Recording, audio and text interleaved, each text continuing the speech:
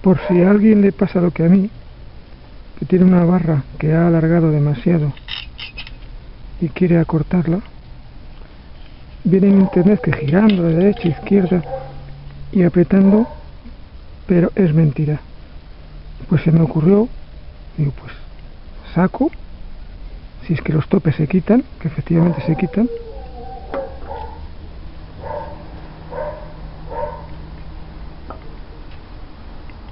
lo saco y lo vuelvo a meter por ahí. Efectivamente. Y es mentira lo de girar y apretar porque esta chapa tiene unos cortes unos bordes muy afilados que ni girándolo sería posible introducirla de nuevo. Así que hay que meterla al revés por el otro lado.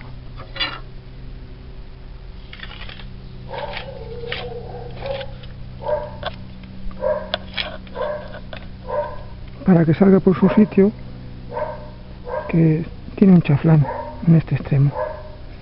Y se deja a la medida que se quiera. Se colocan otra vez los topes. Y listo